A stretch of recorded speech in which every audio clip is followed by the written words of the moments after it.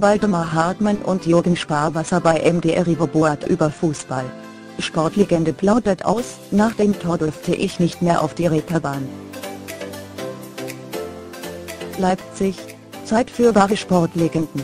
Jörg Willeber, 52, und Stefanie Strumpf, 33, haben sich in die aktuelle Ausgabe des MDR Riverboards große Helden der Sportgeschichte eingeladen.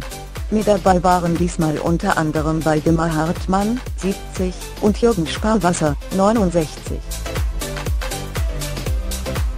Der DDR-Fußballer erinnerte sich in der Sendung zum Beispiel an den legendären Sieg gegen die BRD 1974 und dass er sein Siegtor damals gar nicht richtig feiern durfte.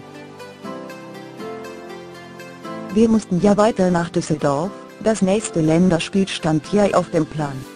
Aber an dem Abend haben wir schon ein Bierchen getrunken, in Hamburg, dem Ort des Spiels, in dem wir gegen die BRD gesiegt haben, sagt Sparwasser.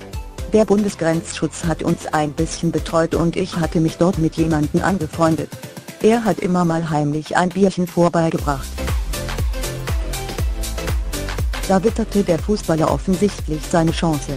Nach dem Spiel habe ich gefragt, du, wie sieht es denn aus, wir drei wollen mal auf die Reeperbahn, ist das noch möglich?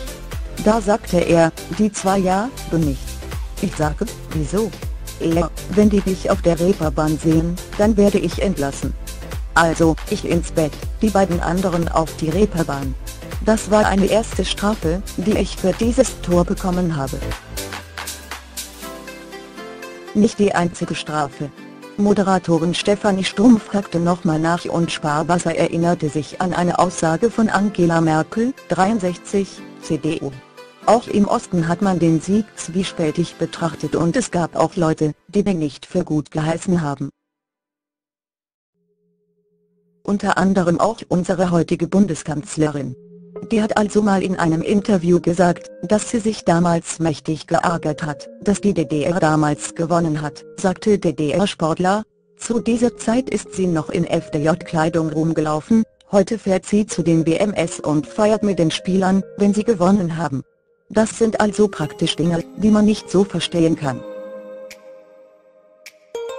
Waldemar, Walde, Hartmann packte in der Sendung über seinen legendären Weißbier-Werbedeal aus ein TV-Interview mit Rudi Völler, 57, damals Trainer der deutschen Nationalmannschaft, ist jetzt knapp 15 Jahre her.